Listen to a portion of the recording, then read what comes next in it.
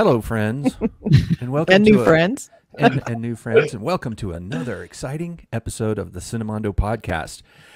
The three, wait a minute, not the three of us. There's four of us. We have a guest. We have a guest. Exciting. Hi, I'm guest. Uh, our special guest today is a, I call him a true Renaissance man. He's a screenwriter of such films as The Darkest Hour, Dante's Peak, The Alamo, and Daylight. He's also the series creator of Steven Spielberg's Taken from back in 2002. He's also written for the show Extant. Uh, on the music side, he was bassist in the 80s for uh, Sparks. Uh, you can see him in the Sparks Brothers documentary by Edgar Wright, and you should see it. I saw it at the theater; it was great. Uh, he was also in the band The Gleaming Spires. Les Bohem is where our, is our here today. How are you, Les? I'm fine. That would be not be Renaissance man. That would be Jack of all trades. One of those people. Uh, so, so the Sparks Brothers documentary kind of put them right back in the spotlight again. How do you feel about that? Oh, I mean, it- it's the, there's this the documentary, and they wrote a, f- a movie. They also did the music for that Adam Driver's in. That that was the opening night movie at Cannes this year. Love it. So proving that there are in fact fifth acts in American life. I mean, Yeah, It's true. Wow. it's, I mean, it's they're, inspiring. they're Yeah. they're gifted. They they they Mhm. they keep getting better. Uh, Yeah, they're they're they're. I mean, it's just it's fantastic that that It happened. really is. is that the impression you had of them when you were working with them?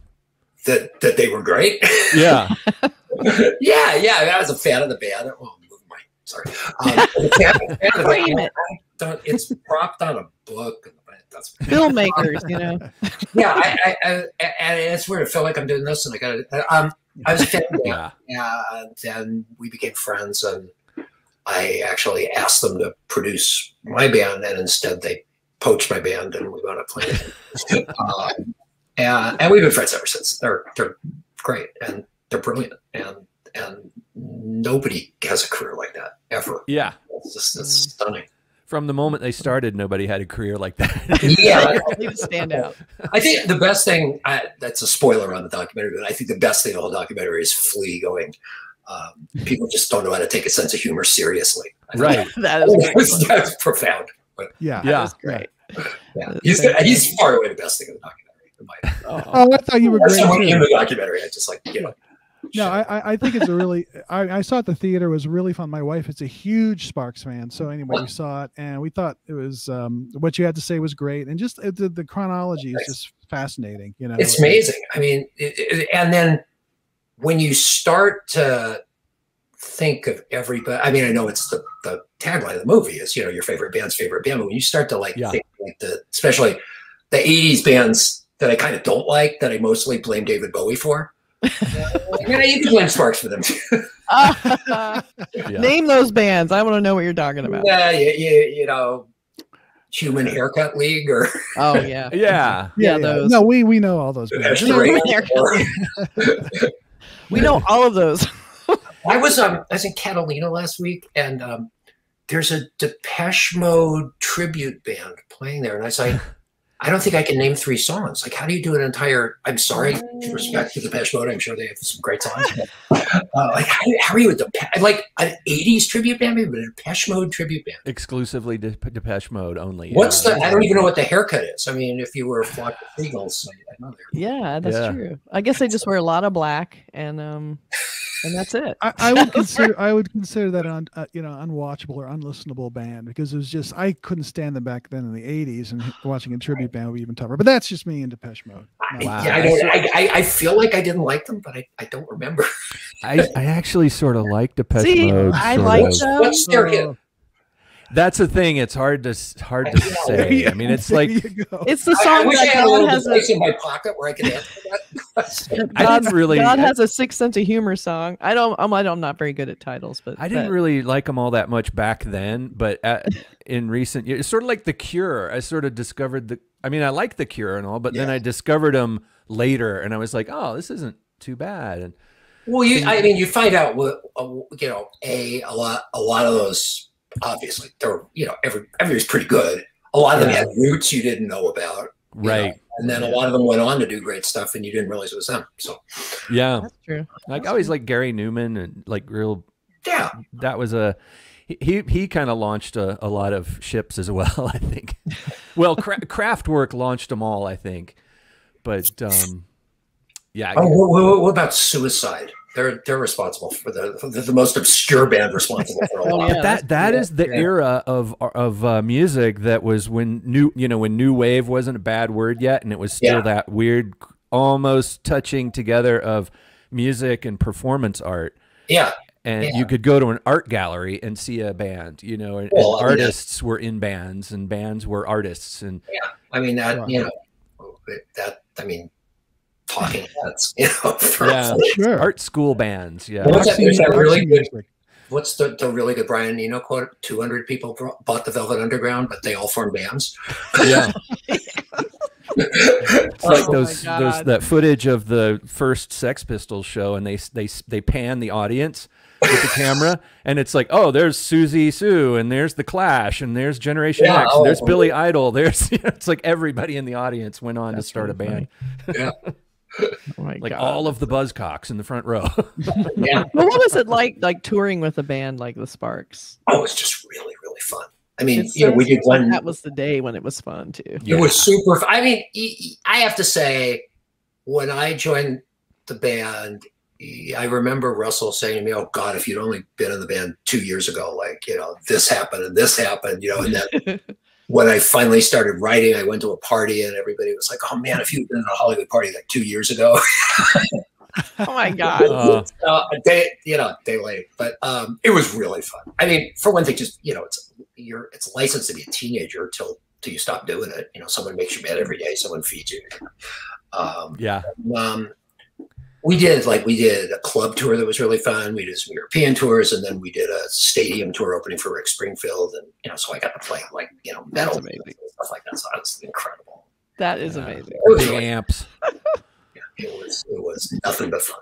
That's really and you know if we in when you're in somebody else's band you're not you know you're never going to be you know artistically completely fulfilled i mean i was Mm. playing you know bass to songs i love but they weren't songs i wrote but when problems occur you know like there was a point on the springfield tour when um, the the single i guess it was i predict had had gone as high as it was going to go and uh, record company support was disappearing, and we went from a tour bus to driving ourselves in a van. Oh no. And we had a day off, and we all went to see Spinal Tap, and no one laughed. We were just like, "Yeah." Yeah. Wow. But I mean, So close you know, to th- true. those were those were problems Ron and Ru- that hurt Ron and Russell in a way they couldn't possibly hurt me. I was just like, "Yeah, that sucks." But Oh, Yeah. Yeah. oh, well. oh, man. So, do you? Why did you decide to move from music to filmmaking and movies? I I I, I probably I don't. I've, I've told this story several times. So Not to us. I'm just, so, um, I my my my parents were both screenwriters, Right. Mhm. but they were.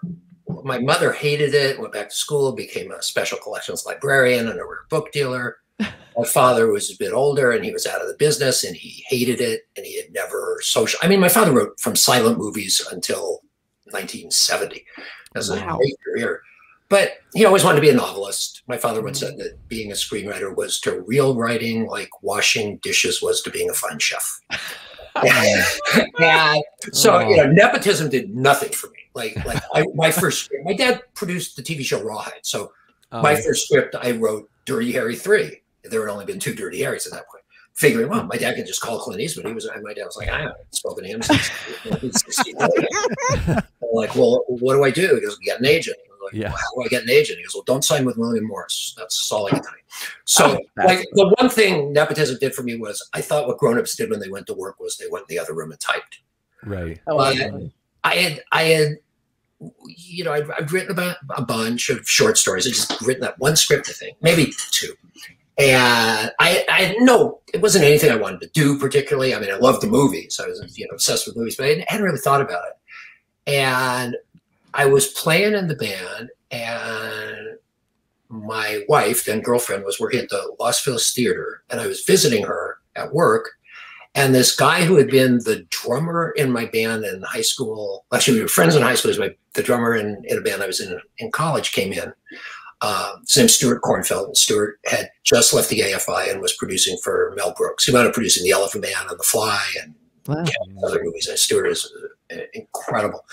And so we decided we'd write something together, and we did. And then uh, I joined Sparks, and I was doing a TV show with.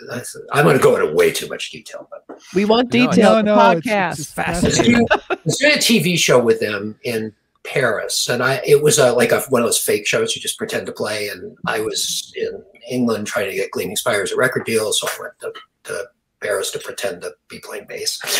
And um, I remember that that I, I I I was working really hard on my French, and I came back to the shitty hotel I was staying in, and someone had broken in and stolen my passport and my wallet. And I went downstairs to tell the guy at the desk, and I was like, "Quelqu'un uh, I forget to say steal now, but you know, ma, ma billet or something, you know. So I was like so proud of myself that I had said someone stole my wallet in French that I didn't even care that it got ripped off. and that night, I got a call from Stuart, and Stuart said, "I just had a meeting with Atlantic Records and the Ladd Company, which was a company that made movies then, and." Um, they're the uh, head of Atlantic Records and Doug Morris. Doug Morris has an idea for a movie, and I told him that it's about rock and roll. And I said, "You're in a band and you speak in complete sentences, and they'll fly, they'll fly you back from Paris to talk to you about the movie." And I had just shaved my head for the Gleaming Spires video for how to get girls through hypnotism, so I look creepier than I really am. Hopefully, actually, I kind of look like I do now, but it was, it was you know a choice. and um, I, I they flew me back, and I was jet lagged. There were probably drugs involved, and there were definitely drugs. Involved. There's probably. And they told me the idea, and I said, "That's idiotic. Rock and roll is nothing like that. Can you take send me back to Paris?" And they hired me on the spot. And it's like I, I'd seen that happen in my failed rock and roll career. I see it happen to this day in the movies. You know, it, it's high school dating, and if you act like you don't want to go out with somebody, they want to go out with you. I've never been able to recreate that. Anytime I try to be a people go, "He's he's difficult," and that, that's it. Oh. That that one worked, and they hired me. Um, I I wrote the script. I got an agent. Um, Stuart got me my next two jobs. I got Spark signed to Atlantic Records. Damn. Whoa. I mean, you know, and I, was pissed the whole time because I was like, I was in this room with people who had never listened to my own band's demo tape. So, Yeah. I, Right. Sure. Oh yeah. um, and that got me like four years worth of. I, I wrote another script for Stuart. I wrote a script for Amy Heckerling. I wrote a script for Warner Brothers, and they were all about rock and roll. And so that meant like the young executive who thought I was cool because I was in bands that were semi-popular. Uh, thought it was a great idea to hire me. I was cheap, and then their bosses. This is early '80s, so their bosses would look at the scripts and go, "Well, Mel Gibson's not playing a rock star. Kevin Costner's not playing a rock star," and the scripts would never get made. And so I was writing the whole time I was in Sparks, and then there there came a point where I had gotten hired to write a treatment, which was already like beneath me, but it was this Nick Pileggi article about uh, the the cops who caught the rapists of the nun in Harlem, and they put me up in New York, and I wrote the treatment, and Al Pacino wanted to do it, and it was in that period when Al Pacino wasn't in movies, like Right. maybe, Yeah. pre-Scent of a Woman and before Right. of the mm-hmm. seventies run. I mean, after the seventies run, and so they they wanted me to stay in New York to write the script, and so I called Ron and, Ron and Russell to quit the band, and they were really relieved because they had been having to pay to fly me back and forth a lot, and Ron was playing most of the bass parts on the synth now, and they were kind of looking to start the next thing they were going to do. So it was a very amicable, you know, you mm-hmm. can't fire me, I quit. And I had this one meeting with. I am really taking a long time on this. I'm sorry, but We No, love it. This is You asked. fascinating. I love it. No, no. Keep so I have this. I have one lunch with Al Pacino, and he's very, very nice. And he gives me his home number, and he says, you know, you can call me anytime you have any problem. I'm excited about this. I, I'm about halfway through writing the script in a hotel room in New York, and you know, and doing all the things real screenwriters get to do, like go on drive-alongs with cops, you know, and, and Yeah. I mean, this is the first time I've had a relationship with a policeman that wasn't, please don't find my stash, you know. So, Right. um, and I, I think I should call out, you know, this is like, I got a relationship here. So I call this number and somebody answers and goes, who is this? And I say, Les Bohemian. So, okay, I'll call you back. Uh, about three days later, I call the same number and it's been changed. I, I turn in the first draft of the script. Okay. Uh, you know, the way these deals, at least, I mean, now they're more one step deals, but in those days, a deal was usually what they called a three step deal, which meant you write a draft, they give you their notes, you write another draft, then there's this thing called a polish, which is the same or more amount of work for less money, and then you're done. And so I turned in this first draft. They paid me out, meaning we hate the script so much, we don't even want to bother having you Oh rewrite it. my god. And I went, I came back home and that's probably 35, 30, yeah, 34, 35. And I came back home and Sparks was playing at a club called the Palace in Hollywood. And I went to see them and they had this new bass player and he was like 50 pounds skinnier than me. He had this perfect flock of haircut 100, you know, Oh, no. perfect. Like you could toss it, you know, and it, it would it would knock it in the wings. And he played like he played like way way better than I ever played. Oh, I mean, no. he was like a, a quality musician. I was just a, a, a failed guitar player. Oh. And, and so I was like, I say went to bed. I was like, wow, that, that's that's both my careers gone. wow, that's Oh my like a God. double whammy. It was a double whammy. It was a bad six months. Al Pacino changes his number, the studio buys you out, and they replace you in the band. That's a bad Yeah. day. fairly bad day. Um, and, and and that's the story of how I wound up. ri- so How I stopped playing music and wound up. writing. Because it was such a great experience, you needed more of that. I did, well, Yeah. the only other jobs that rock guys could get were horror movies because you know that's sort of like metal monster tie-in or something. you know? Right. Yeah. So Yeah. I got it through my my agent that was was terrific, and I I I- I got to be friends with Sean Cunningham, and Mhm. I did a bunch of rewrites for him on. There, there's one. I, I if I say this out loud, I could probably get thrown out of the guild. But there's one Friday the Thirteenth movie. It's the one after Jason Takes Manhattan, which by Can the way, say it and not get thrown out? the, the single best trailer in, in the history of the movies was Jason Takes Manhattan. Just the, sub, the subway and, and Jason coming out in full ski mask. I mean, I was like, but um, I did some rewrites on one of the Friday the Thirteenth movies, and I didn't do enough to get credit. And and in the weird machinations of of the way credit works, the only person who works on a movie whose name doesn't appear on the movie anywhere is an uncredited writer. Right. Uh, Yeah. interesting. Uh, like like absolutely i mean you know and, like they they they list everybody who works on a movie they don't they've, they've never found a way to list the uncredited writers So, what is the limit for an uncredited writer? Like, what's the- Um, enough and There's what's a, not there's a enough? very it's a it's a complicated threshold of Okay. arbitration with the game if Yeah. there's more than two Oh, writers- okay. i don't know all the rules i think if it's more than two writers or one of the writers is uh, A musician? production- well, is, is a director or producer the, this but it, theoretically you have to change more than a third of Okay. plot, character, and dialogue. It's and Interesting. uh, three writers read the scripts and decide, and we all fight very hard, even though we know we don't deserve it or we're sure we deserve it because your money is determined. But uh, your residuals are, you only get residuals if you get credit, and Right. Right. oh.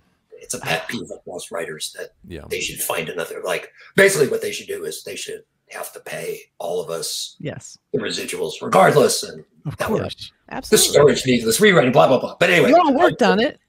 I'm, I'm credited on one of those uh, Friday the Thirteenth as executive typist, and, um, which was nice. A new skill you can put on your resume. Um, and then out of that, I, he hired me to write um, the Third House movie, to rewrite the Third House movie, which House Two then flopped, so it's called The Horror Show, and that was my first Oh. credit. And then that, that I I I, had, I I I hear you guys talking about Rosemary's Baby a lot. I had I had pitched earlier in my for want of a better word career um, for the I, I was pitching for the third Nightmare on Elm Street, and I suggested Freddie has a baby, but I said, well, what I said was, why don't we rip off Rosemary's Baby? And I was I was pitching to a woman who was eight months pregnant, and when I said, and you could see the little claws trying to claw their way out, I, I lost the job. Oh, And then they, they they called me after I'd done the horror show, and we're like, well, we have this idea for Nightmare Five. Freddie has a baby, and I was like. Uh-huh. Check your notes. I mean, it's like like it wasn't even I- You know, first of all, they called me, so I, there's no complaint there. But also, it's like true. you know, like what did they rip off? Me saying, "Let's rip off Rosemary's Baby." Yeah. They ripped off your ripoff. so then, I mean, so in the in the tangled history of my career, I, I, I moved from rock rock movies to horror movies because that was the That's funny. That's really funny. And then you awesome you moved on to Spielberg. Well, we'll get there. but then you did a Pierce Brosnan film. I well in That you you Oh, wait. definitely made a big leap there somehow. So how did you do that? I had it. I after the Nightmare movie, I did a bunch of. Dev- I don't remember the order of stuff, but you know, you, you, I, I wrote a bunch of movies that never got made. I did some rewrites on a couple of Jean Claude Van Damme movies.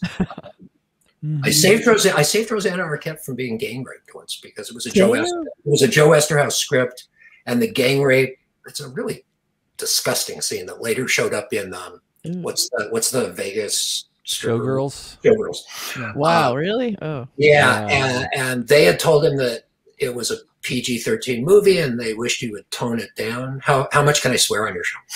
where it's a podcast. You can say whatever you want. Yeah. he um, he he he did, he took seven hundred fifty thousand dollars and toned toned down the script by changing one line. He changed the line "We're gonna fuck you, cunt" to "We're gonna show you a good time, honey." That's very different messaging.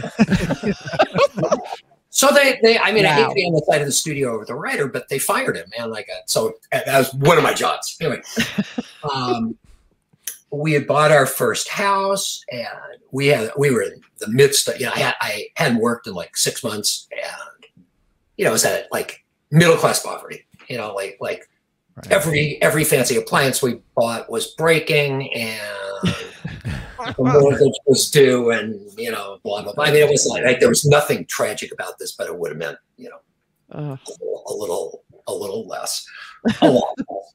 And um, you know, and and my my guys who helped me out in business were I was like, what do I do? And they're like, punt. Yeah. And um, which since I don't follow football, it took me a while to understand what that means. Say, what does that mean? Is that baseball? What is and, that? um, and I was having lunch with this new producer who who was very aggressive, and um, I was in a bad mood. And he said, "Everyone in town knows that you're a really good writer. Everybody talks about what a good writer you are. And by the way, if you ever hear the writing's really good, that's." Can we just be friends? You know, it's, just, it's, Oh no! it's over. It's like It's it's not it. me. It's not you. Worth It's it. me. So, um, It's like he's got an interesting face. yeah, yeah. yeah. How was it? All the money's on the screen. Yeah.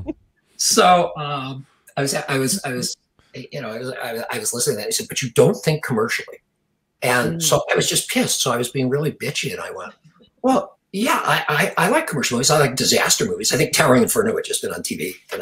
It's like I love disaster movies. I'm going to trap 45 people in the Holland Tunnel on the hottest day of the year, Love and we it. both like Ah. we both got like eerily quiet because you know."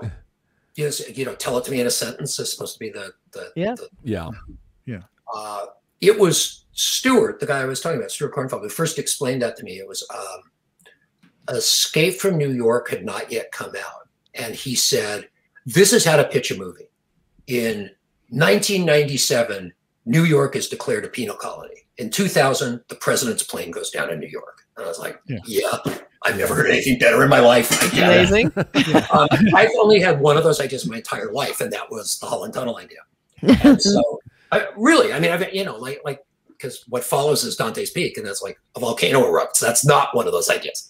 But um, and so I, I I was like, can you if you could send me to New York and get me into a tunnel, um, I'll I'll write a script in six weeks. And so it was this is pre 9-11 so you know they, they shut down the brooklyn battery tunnel for me and i got to go inside and you know they got- No kidding. it was Wow. Incredible.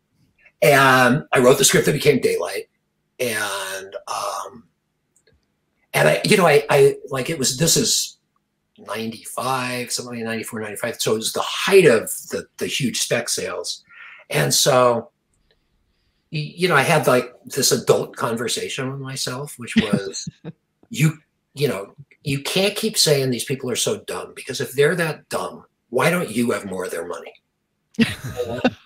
and That's a just- very adult conversation. it was. I was like, read these scripts and play by the rules. You know, so I read 20 of the scripts that had sold for over a million dollars at that point. You know, like That's Shane. Black scripts and all that stuff. And I was like, yeah, I'm going to do this. So I set out to write Daylight. And in my draft of Daylight, um, there are a couple, these two gay hitmen, and they're following their quarry into the tunnel.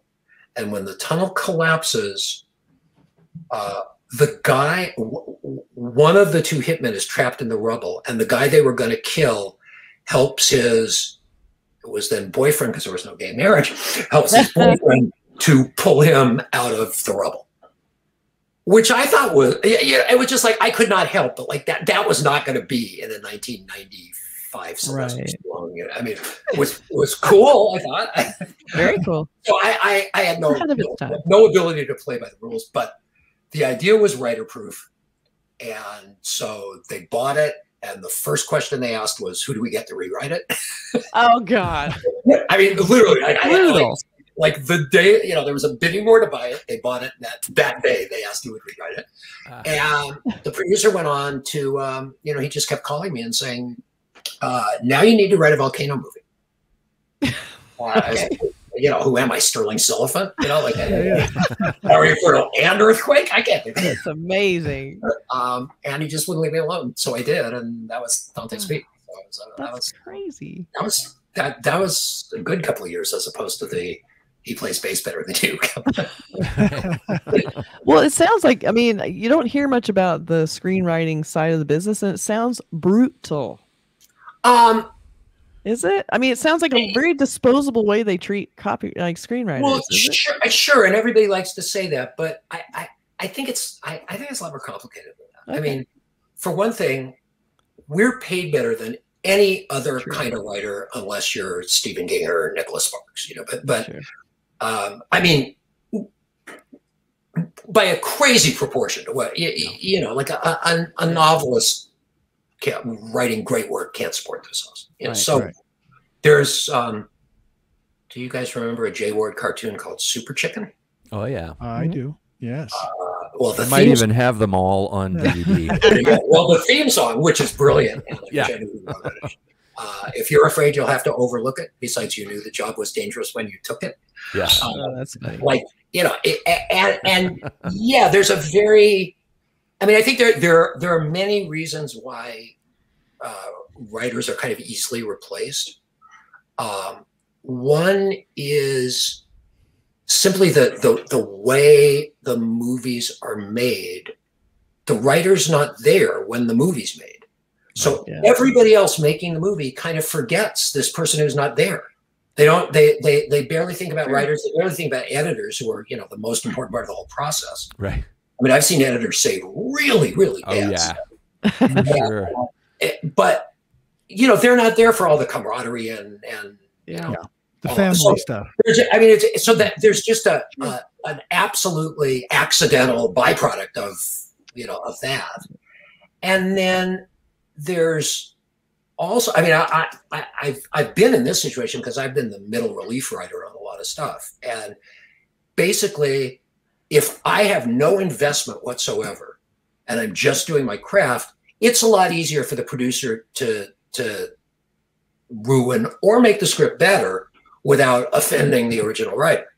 Right. So, it, as just a a trip to the office on a Thursday, it's easier to tell somebody who doesn't give a shit that you want to do this or that than to tell somebody who's got their heart and soul in something. So, Yeah. sadly, that's why so much stuff gets that homogenized because it just gets to the point where no one wants to fight anymore, and they find somebody who won't fight Yeah. Mm. and then you know, like like it's it's a scary amount of money, and everybody want it, the the basic premise is if you you want to keep your job as, as anybody in, in the food chain, assume failure and figure out how you're not going down with the ship. Right. And so there's a lot of covering your ass. Like Yeah. if if you well on daylight uh this is a casting example but uh Nicolas Cage was pre The Rock and and pre leaving Las Vegas. And he wanted to do it and he wanted a million dollars. And the guy running Universal said I I, I, I won't do that. I'll, I'll pay Stallone 20 and they went out and got him. And the fact the movie did not do well at all in in the United States. It did well abroad, but the executive didn't get fired. If it had failed with Nicolas Cage, he would have gotten fired. Mm. So he was assuming failure and covering his ass. Another way Right. to cover your ass is Okay.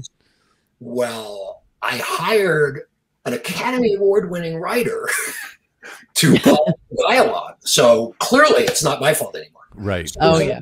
And, and then, and, and I, I, I saved this one for last because I don't think we we writers as a group ever acknowledge the blame. Um, the, the the writers who started Hollywood, you know, I mean, pre Guild were, uh, you know, there there were uh, oddly a, a lot of women silent movies, a lot of women. Um, mostly society women, you know, Pasadena money, and they dabbled in writing. Um, Yeah. But you've got, you know, Anita Loos, Frances Marion, you've got like, like incredible women doing that. And then you've got like sort of like gamblers, you know, racetrack guys who are friends of Jack Warner's and, you know, like, Right. like, like they're like 30 guys who all made up something on a story or, you know, his drinking buddy. And then mm-hmm. you've got the prestige guys, the playwrights and the novelists. Mm-hmm. And they're starting to sort of put together the what will become the Writers Guild, you know, but they're starting to put together like a basis for how they're going to do this. The the novelists, uh, well, I go back to what my father said about you know it's it's dishwashing. They were so dismissive of the work that we're the only right we're, we're the, the best paid group of writers, but we're also the only writers who give away our copyright. Yeah. So collectively as a group, we have a very low opinion of ourselves. it, it- it's hard to find a writer who doesn't either want to write a novel or think they should direct. You know, they think it's like True. my, friend Howard Rodman said, it's it's the the dish, the um, the waitressing job on your way to being a director. Right. Uh, it's like like you know, and that so part of it's like we bring it on ourselves by just kind of not you know, and then and then it's it's so institutionalized at this point that Mhm. that it just it is what it is. But no, is it is it is it awful? No, I mean I'm a, I'm a grown man and I make my living making shit up like that. That's Yeah. that- no, it's awesome, but also there's it has that to complain about that. it has that element of like you know we all kind of have our jobs within kind of the industry Yeah. and a lot of it is other people people making decisions on your creative work and they're Yeah, not creative and they're making the decisions always Yeah. and that's just a different it's i think it's uh one of those angles that's hard for people to really understand unless they're like kind of creative or whatever how it feels to have people making those decisions but at the same time like you said it's fun it's like it pays you pretty well you know it's a it's a pretty cool job working in this craziness so i don't ever really lament that i'm in the business but it, it can have its moments Oh, but, the thing is, you, I mean, you, I mean, I spend a great deal of my, you know, spare drinking and coffee time with other writers complaining. But it's, you know, it's it's like like you can only complain to, to I mean, Yeah. you, you got to stop every once in a while. You, you know, like like um, again, I'll tell another story of my friend Stuart. So my friend Stuart is work. He was producing for Mel Brooks. I think it was your show of show, uh, with, with the history of the world. Mm. And so it was all those your, your show of shows writers, you know, Right. just Right. bunch of old Jews in the room. And, Yeah. and so they come out after a day in the writer's room. Stuart's standing there, and, and one of these guys says to, to Mel Brooks, Mel, that was, that was really a hard, that was such hard work. And Mel Brooks goes, lifting, lifting is hard work. Yeah. oh my It's god like, yeah, it's like I mean, Uh. I because you know you could you you could have asked me a different question, like my experience on my last TV show for Hulu, and I would have been a cranky writer telling you that they never had a good note. And, you know, Let's talk about that. No, let's not. Let's leave that. Now, wait, what? Just not even you know we don't have to name names or anything, but did so you're a writer. Did you have aspirations to be director or showrunner or like? uh, Is that something you you wanted, or is that just how it kind of evolved into a show Well, I like, never- with I- streaming like that? I, I never I wish the shirt said what I never ever under any circumstances wanted Yes. to do is direct. I, that, Exactly. that um I I'm confident that I'm pretty good at what I do and I've seen a you know I I think this is a, so it's a two part question. So directing I think is is one of the easier jobs to be competent at and the hardest job to be brilliant at. Mm. You know, like you have enough people who know what they're doing who won't let you completely fail. You Yeah. point the small end of the Right. camera at, the, at the actor. Yeah. And we've all seen stuff that's really pretty good that's not particularly well directed. Right. But Right. when you see something that's, you know, when you see a Billy Wilder movie or, you know, or, or, Yeah. Mhm. or, Yeah. uh, what about, you know, we need to talk about Kevin.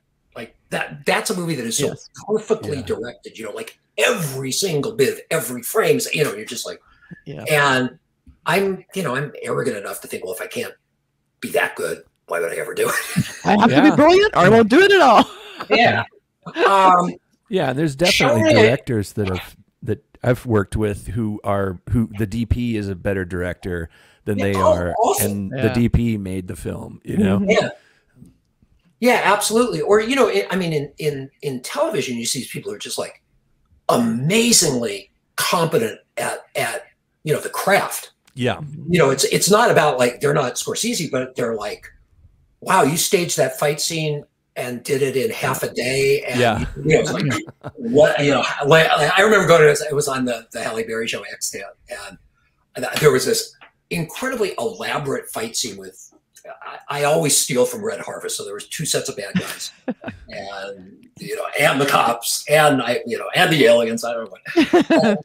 I, I remember that, like as I said, I have no aspiration to do it, but I just I got there at five in the morning. And I was like, I'm going to sit here for an hour and see if I could figure out how to do this.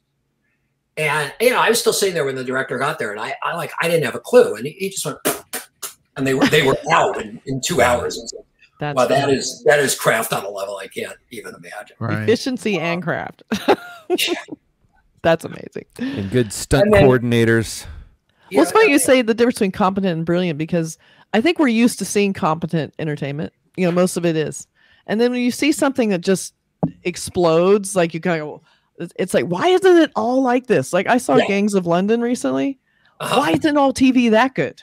Like their Have you stuff was movie quality, s- like yeah. choreography, action. Like, how come we don't see action shows that have this level in it? It can be done, but you're like, well, it's that guy, you know? Did you- guys watch Giri/Haji?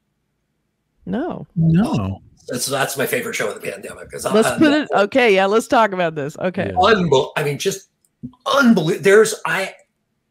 First of all, it's great from the get. It's funny. It's brilliantly made. It's it's exciting as could be. Characters are amazing. There there's a scene in the last episode that's the bravest thing I've ever seen anybody do on television. That's I, and I, I you, you have to watch the whole thing and get to that. But it's not like it's a chore to watch the whole thing. The thing is, it's it was I I just loved it, and it was yeah, it was absolutely like you could do that. Uh, Whoa. What was it called again? What was it called? Giri/Haji. It's a Japanese British co-production. Oh, okay. Okay. We'll look at that. Oh.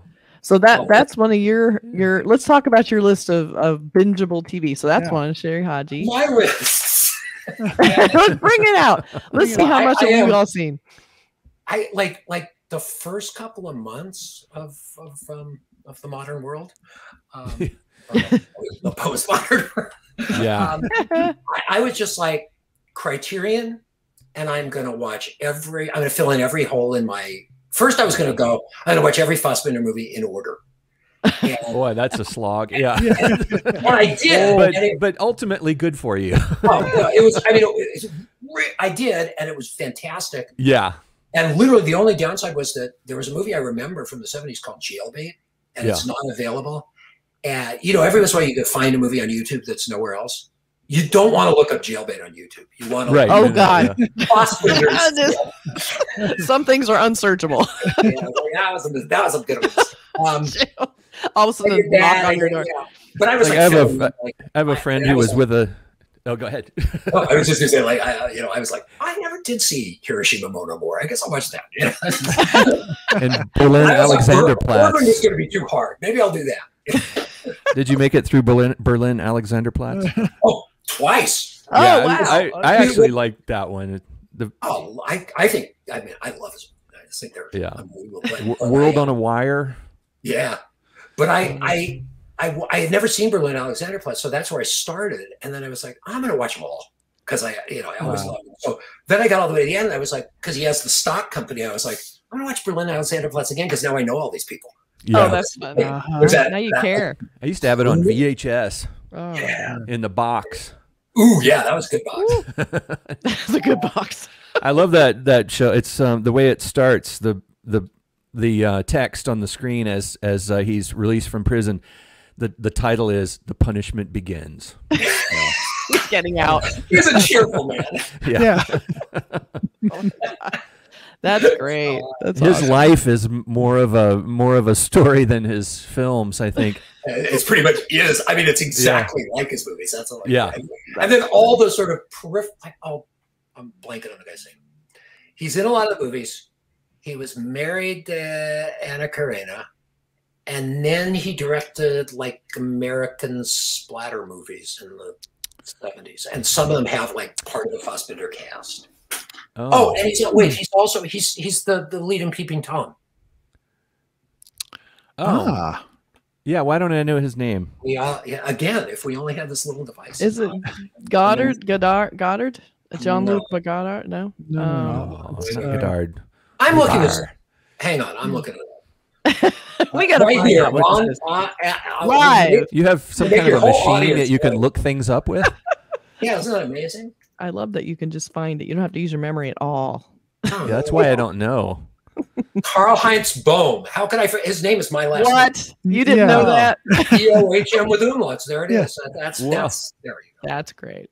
See, that's that's. That's and really then funny. the, the, I would fall down these rabbit holes. to- so, the, I, maybe it was like for Halloween or something. Criterion has like obscure splatter movies. Yeah. Oh, I love that. Oh God, what's this movie called? Let me see if I wrote it down. Probably I have to didn't. know about obscure splatter films because Yes, I'm always I looking for them. Oh, come on. I know I wrote this down. Hang on. yes, I did. Deep Crimson. So, Deep Crimson, Profundo Carmesi. It's so it, it's a Mexican movie from I think the 90s. And it- the little blurb said based on the same source material as the Honeymoon Killers. Oh, Okay. So I start watching it, and it's absolutely brilliant. I'm like, this guy's really good. This is who's this director? And his name is his name is Arturo Ripstein. So I look up Arturo Ripstein. He was Buñuel's AD on the Mexican movies. whoa. He's made like 50 movies. The first one, Wow. which is called is a western called Time to Time to Die. It's written by Gabriel Marquez and Carlos Fuentes. No kidding. And I, I That's so amazing recommendation. so there's maybe Yeah. there's like six or seven of his movies that you can stream, and then I got another twelve on DVD, and a lot. I mean, he wound up like like he, you know, he, he- I think he still makes movies. He he made No One Writes to the Colonel. You know, he has like like occasional forays into the international world, but I don't know why I didn't know about him when I knew about any, you know, Godard or Buñuel or any of those guys. I mean, Yeah. the, his movies are stunning Hmm. and then I I stumble on you know because because the rabbit holes are all there. His Yeah. son Gabriel Ripstein, who I'm gonna assume was named for Gabriel Marquez, and I'm just making that. So he made a movie called 600 Miles with Tim Roth, and then he's done a lot of TV. And he, there's a one season show called The Enemy Within, or The Unknown Enemy, and it's about the riots at the Mexico City Olympics. Fantastic. Just it was Wow. like this is like like absolutely stunning. So that that was my my wow. that and Quentin Dupieux. Those were my two recent. The guy that made Rubber and Deerskin. Oh. Oh, Maybe yes. this is like the best binge list Yeah. I've ever heard because it's all stuff I have not seen, and I'm about to now have this huge plethora of stuff to watch now. I love Have that. you, Yeah. have you? Do you have fifty hours to watch Le Bureau, that French spy I'm show? gonna find it. I Le keep Bureau about was- that. Yeah. Le Bureau was my other favorite thing. The the, Bureau. Okay, I'm definitely I've playing it's like about John that. Le worthy spy stuff. It's just incredible. Bureau. The guy, I think his name is Eric Rochant. He's the Yeah, Eric Rochant. Yeah. yeah, writer director of it. And Just, that, I mean, it, it's so good. It's like like Always looking for stuff. But that Boon, Buñuel connection before, it's like that. He's one of my favorite. Exterminating Angel is one of my favorite movies. Hmm. That movie just is. I- I I really look for films. I really value movies that can disorient me. oh, Yeah. watch the, the, these these these Arturo Ripstein movies. Every one of them. really, They're they're you know deeply vested in that sort of magical realism. Yeah. yeah, yeah. but but then with the sort of more Buñuel. Right. Not just weird for weird's sake or weird Oh, no, set not at all. pieces or weirdness, but genuinely disorienting in a in sort of a like a visceral way that you can't really put your finger on how it's disorienting you. Like how does the how is this working? Like exterminating angel, it's like what a weird idea. Why does it work so well? I love that. That to me is like David Lynch, you know. yeah. And when we talked about like direction versus competent direction versus brilliant, you know, we have the Twin Peaks series and we had it all laid out. It was all David Lynch and they had different directors. yeah. The difference between a David Lynch episode and everyone else's episodes just vast. Everyone was trying to be David Lynch, but they weren't even close. So I, I always like seeing that just that juxtaposition of good versus not as good. It's really fascinating. I mean, it, it. I mean, and sometimes you see, especially on TV, you see it where you know, like like the the pilot director's vision was so strong that it Mhm. just like the competent people could now kind of. I know. I there was a somewhere in my mid career there was a a script at Paramount called No Bail for the Judge. It was written by Samuel Taylor, who wrote uh, Sabrina and Vertigo, Oh. and Mm. it, Alfred Hitchcock was supposed to direct it, and I believe the gossip is Audrey Hepburn was pregnant with William Holden's baby and had an abortion, and they shut down the movie. Oh my Yeah. gosh. Wow. So much Hollywood drama. And he never made the movie, although he did use like two scenes from it in Frenzy. But they were somebody was going to remake it, and they sent me these two documents. And you know, a, a, a movie screenplay is ninety to one hundred and twenty pages long. Right. They sent me these, the two documents was this thing I've never seen that was 150 pages long. That was every single shot, every single thing that would happen in the shot, but no dialogue. And then there was a script that was maybe 210 pages long, and it, and I could take that script and a camera and make an Alfred Hitchcock movie, and you would think it was an Alfred Hitchcock movie. I mean, it was Wow. like done.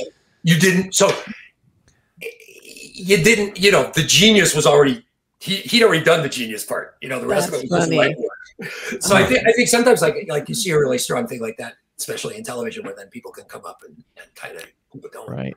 They have it uh, like a, a blueprint of what they Yeah. need to do. Then I wonder if that's frustrating for them. They can't bring their own creative thing to this. Well, I, I'm sure like being you know like an episodic Getting paid. an episodic director in TV is probably not the most rewarding directing job. Right. That's true. Like the first season of True Detective, um, they had the same same writer, same cinematographer, and at the end of it, they're like, "Never again, never again will we all direct every episode." it's like yeah, such a that, that worked grind. out for him. Woo! Yeah, you need to rest. Well, like you, you know, like Johan Renck did all of Chernobyl, and that's pretty consistently great. So Oh yeah. Yes. Oh my gosh, it's pretty grim. But Yeah. Dark. oh, and is So that many the end of your list? You got So any many more? great Suggestions For my God. list? let's Yeah. take a look. At, well, Let's see what's on the list. can we stop for a minute for the? the have you seen any of those Quentin Dupieux movies? Like, I like have not.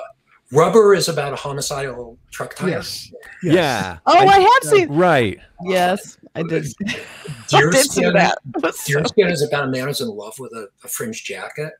And uh, I just watched his, his new movie called Mandible, which is just, it's hilarious. These two guys find a giant fly. They steal a car and they find a fly like the size of the trunk in the trunk. Oh my and they, they're really stupid. And they decide that they could maybe tame it and it could rob banks for them. yeah, that's what you do when you find a giant fly. the first thing I You know think what we of is can do with it? banks. It's just like he's so great because it's like like That's uh, like I've watched a couple of his cop movies, which are equally bizarre and great, and it's like awesome. they're everything great about theater of the absurd, but minus all of the pretension. You know, they're just they're just weird and funny, and they're That's think awesome. really good. I'm going to go directly to those after this.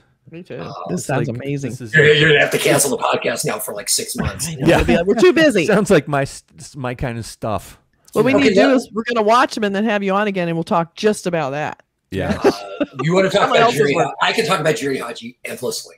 We're going to watch Giri/Haji first. Yeah. I know, the road yeah, it's it's incredible. Yeah, That I- sounds I amazing. swear to if if you'll love it. And no matter what, even if you hate it, which you won't, just keep watching because that that that there there's just some stuff that you should not be able watching. to. Watch. It's just so good. Okay, let's talk about your your phone booth list.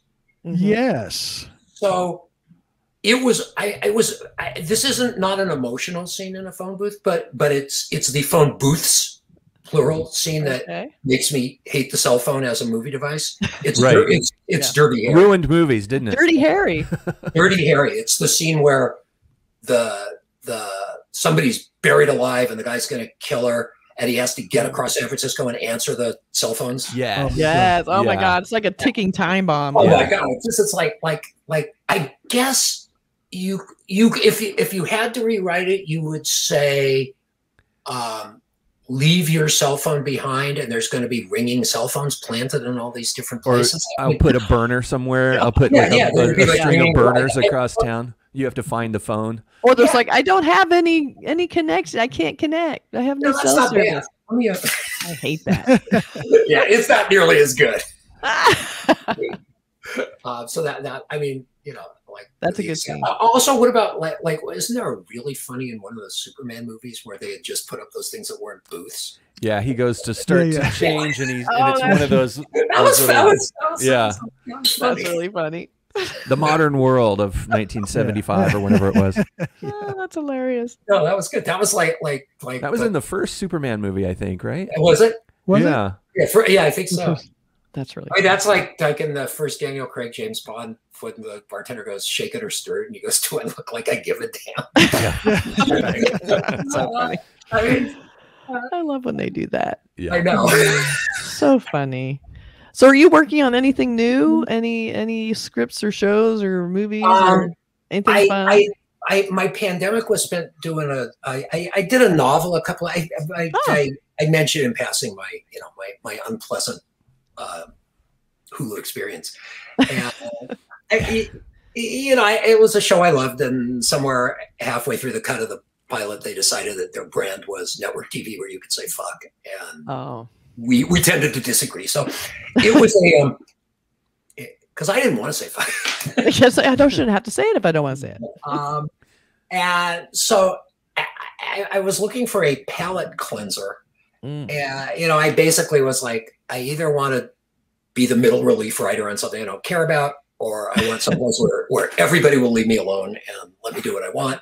And I was pitching like drama podcasts, and I wound up at Audible, and I pitched them something, and it was actually it, it was based on an old pilot of mine that, in the wake of my miniseries, I had given to Steven Spielberg, and he said it was the bleakest, most depressing thing he ever read, and he didn't want anything to do it. You know, it was like this sort of badge of honor. And so- Yeah, I was gonna say that's kind of cool. well, I said, well, I've got the script that Steven Spielberg hates. and um, Ooh, let's take a look. Yeah, so, so they, they read it and they were like, well, it's way too complicated to be a podcast. And we ever wanted to write a novel. And, you know, of course, since Oh. I was tired of dishwashing and wanted to be a chef. Ah, yeah. So I, I, I wrote this book, which is an Audible only original. And Ah. it, it was read by John Waters, which was really exciting for me. Amazing. Oh, that is amazing. I got to go to Baltimore and watch him record it, and it did well. So, I at the beginning of the pandemic, they asked me for another one, so that just went up, I guess, a month ago or something like that. Oh well, what are the titles of these audibles? Because I have The- Audible account. Uh, the John Waters read one is called Junk, and the sequel is called Jive. All right. Wow. Uh, so I'm working on a, I'm working on a third one of those, and Nice. um, you How is know, that? What is that like? You do you enjoy it? Or Oh. you're doing it specifically to be read? Yeah. right? So I, I mean, I learned stuff from the first one. Like one thing you know you don't do in prose a lot is after a while you stop saying, "Kathy said," you know, Right. Right. right, right? right. Like just Right. like like. And I realized there was this point where you have to do it a little bit more because when there's a stretch of dialogue, Yeah. Yeah. unless Oh, you've yeah. got somebody who's really doing you know Orson Welles level voices, like You have to remind every so often. No, like, like, I mean, so there were like, look, you know, I, I kind of, cause, cause, cause I come out of the short direct sentences school of prose. Like, yeah. my stuff seems pretty easy to read coherently. Like it, you know, it's, it's not like trying to listen to Faulkner. Um, but it, it, um, it, so I learned some, I learned some tricks. It was great. I mean, they let me do whatever I want. Then they give me an editor who has great notes. So, you know, when, when somebody gives you a good idea, it makes you feel good because you don't feel like an asshole who just keeps shooting down ideas. Right. Right. Yeah. Yeah. Uh, you know, I, I'd spent a year being the asshole who shot down every idea, and I was like, God, is it am- is it me or do these ideas suck? And you know, it's, there, there's no parallel universe with, where they'll make the movie your way, and you can see whether it did just as well. Oh my god. Yeah. There, I just bought junk and they gave me jive Oh. with it as a bonus. Whoa. Hey, that's that's That's like there we are. So I can't wait to listen to it. I, I love I love have- audiobooks. I probably have a code somewhere I could have sent you, I, I bought it. No man, I'll give it to you. I well, I bought I got my credit. Oh. You know, audible credits. but you get credit. Oh, I'm excited. That's So very I've cool. consumed like the next like like at least 150 hours of all of your live stuff. exactly. With all these recommendations. So it sounds like it. Oh my gosh. I know we're gonna definitely have to do podcasts about all of these. It was great. It's I- been so well, fun talking but- to you. There's so I feel like we need to do another podcast just to talk more about stuff. 'cause we didn't talk about Spielberg, what that was like. We haven't I want to I mean- ask one more thing. okay. It sounds like you're wrapping it up, Kathy. Am I oh well does it's an kinda like hour. We told him it would be an hour. Oh. I Oh, feel like I I mean I, I feel like I just babbled endlessly. So we No, love babbling. Thank No, we It's want really- it. well, what else are you going to do? You're not going to do like an interpretive mime or something. You have to talk on a podcast. That's what you did, I, I, and that's I, excellent. It's We like having you should- on it's 'cause we funny that you should mention my interpretive mind. You know, it- this is my favorite onion onion headline ever. Was when Marcel Marceau died, and the headline was Marcel Marceau trapped in box he can't get out of. Oh my god, that's good. I know it's really good. That should be a movie. You could just retire if if, if you made that one up. Oh, no Yeah. do it. Oh my god, that's amazing. Well, I, I, was it. I was just going to add the, the the presence of music in your life is still a thing. I imagine, right? It It's- is. You, you play your guitar every day, probably. I do, and I, I actually um, I I put out an album three years ago, available on all the platforms. It's called Ah. Move to, it's called Move to Duarte. And, okay, uh, let me go find it. Oh, And it's a double album on account of you know it's my first solo album after 40 years. So I figured. Wow. Um, yeah, I, I, I, I hadn't, you know, I, I play the guitar all the time, but I, you know, I, I, when I started writing, I could finally afford better guitars, and I was looking Yeah. at, this, you know, a, a, a nice Gibson. This, mm. Oh, nice. Yeah. Oh, Burke loves this stuff. It's a sweet one. Yeah. I was like, a little you know, poly all I tuner on the top there. I think. Yeah. And I was like, all Yeah. I want to do before I die is learn how to play one Mississippi John Hurt song. I want to learn how to finger pick because I could never move my thumb independent of my fingers. And you know, before Wow. they before they get completely arthritic, I thought that would be. and so I, lear- I I still can't do that, obviously, but I learned a couple of things, and then um, I wrote a song about Bruce Springsteen dyeing his hair because that was an issue. Uh, I think there's a video of that out there on YouTube. that is just catty. and, uh, a little bit, but you know, I mean, he's a working man. You know? and that was before he was charging you know eighteen hundred dollars for to see him on Broadway or doing um Jeep Right. Cherokee ads. Right. That Yeah, The, the Jeep Cherokee ad is, I mean, you know, did, Yeah. did he change like? Does it go, you know, at night we sweat it out on the streets of a runaway American dream. At night we ride through mansions of glory in our new Jeep Cherokee. I mean, and the man's worth Oh, a billion dollars. He doesn't have to do that. He's worth a Yeah. billion dollars. Yeah. But he still wants the the the adoration. He still wants Yeah, the. how do you get the? I, well, I get the Broadway's adoration, but the Jeep Cherokee ad is like, you know, It was probably so easy. Like, here, we'll have you for an hour. An Yeah. hour of your day, we're gonna pay you five billion dollars. Yeah, Yeah. okay, I'll do it. He's probably got a good friend that owns Jeep. uh huh. But you know, when, yeah. curate, curate that image. a little bit, dude. It's so true. I know it seems like Springsteen wouldn't sell out for something like that, but he did. Uh, yes, he has. At least it's a. Jeep, you know, it seems kind of rugged and cool. It wasn't like he was driving a, you know, a little dinky Oh. car or something. It's like a, if he did a Krispy Kreme ad. or It fits his something. brand. Oh, yeah, Something really that would- that would be- Americana. Yeah, good point. But uh, yeah, so that and um, there was I was working with with some movie people who had this. You know, everything is is damaged by all the sort of Robert McKee screenwriting books, you know, and everything Oh, has to yeah, get yeah. three acts. Structure. You know, Shakespeare was five acts, but they neglected Right. that. So Right. these guys were four acts and they made this thing that looked like a baseball diamond you know so and and so in the middle where the pitcher's mound would be you know you put these big points up at first base second base third base home but uh where the pitcher's mound would be was the moral premise.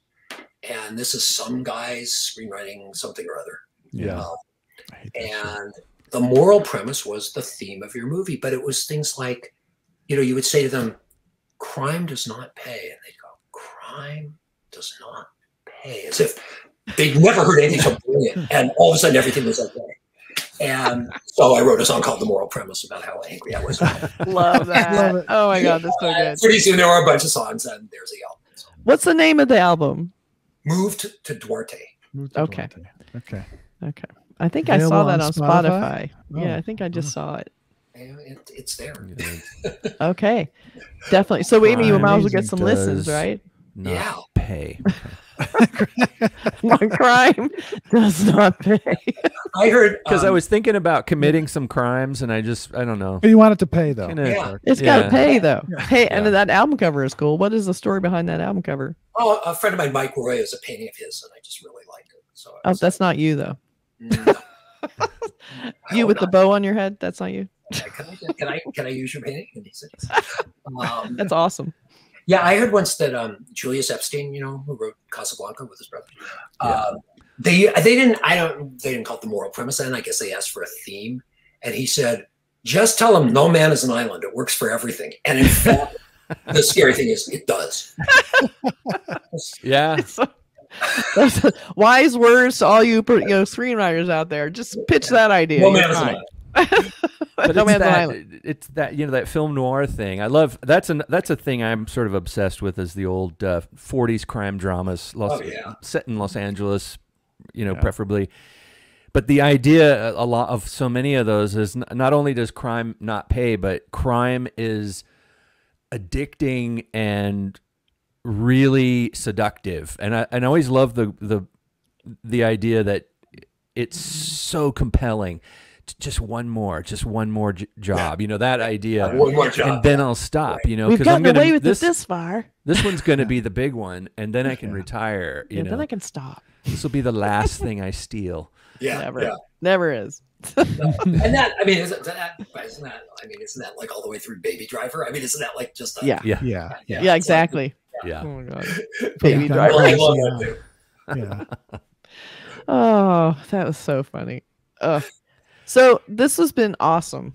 And Yeah. you've taken an hour over an hour of your time. I know oh, it's like so fun. I feel we can keep going, but you know, I know you have things to do. Well, Well, we can. We- ha- we could, if you we'd love to have you on come again, for back and be on the show again, we can talk. We can actually watch some of the stuff that you told us about, and then you can come back and we'll talk about it. We'll watch Okay. Giri/Haji and then say, "Okay, here we go. Fine. Let's That'll- do that'll give me an excuse to watch it for a third time. So Exactly. exactly. That'll be super fun. Yeah. Yeah. It's been so fun. I loved hearing the stories. That's great because you don't hear about that stuff much. So I love it. It was, fa- it was fascinating stuff, Les. Thank you so much for coming. Thanks for on. having me. Yeah. Yeah. Okay, don't go anywhere. We're gonna sign off with our little, you know, sign I'm off going- song, going nowhere. song, I'm right and then we'll just say bye bye after. okay. Okay. We'll, we'll, we'll talk about the uh, the fees and everything like that after we come. You know, after we. he, never, he never did that mime thing he said he was going to do. yeah, we're, get into- we're not gonna show that to our viewers. That's gonna be a private show. Les is in a box Uh, he can't get out of. He can't get out. All right. All right. see everybody next Bye, guys. Bye. Thanks for joining us. next time. Bye, Bye. everybody.